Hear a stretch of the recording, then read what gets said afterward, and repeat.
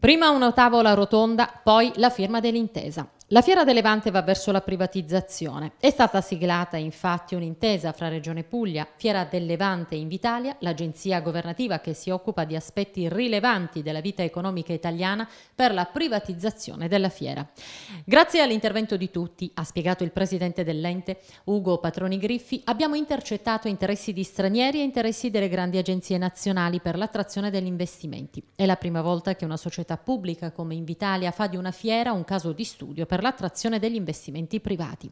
Un accordo, ha detto il presidente della giunta regionale pugliese Nichi Vendola, con il quale affidiamo ad Invitalia la scrittura di un piano di fattibilità relativo alla privatizzazione della gestione della fiera. In questo piano, ha continuato Vendola, ci sono due elementi fondamentali. Innanzitutto la valorizzazione del patrimonio che comunque resterà pubblico e poi anche l'immaginare a come ottimizzare la gestione della fiera. Per gennaio 2014 avremo queste carte in questo percorso di studio studio, di ricognizione, la previsione sarà quella eventualmente di mettere a bando un oggetto prezioso. Quindi non una svendita del patrimonio, ha sottolineato ancora Vendola, non una privatizzazione di quelle che si sono fatte negli ultimi 20-30 anni a perdere, cioè a regalare gioielli di famiglia, ma una privatizzazione intelligente che riguarda soprattutto la gestione di un sistema fieristico che è sempre di più il vettore dell'internazionalizzazione del nostro sistema economico.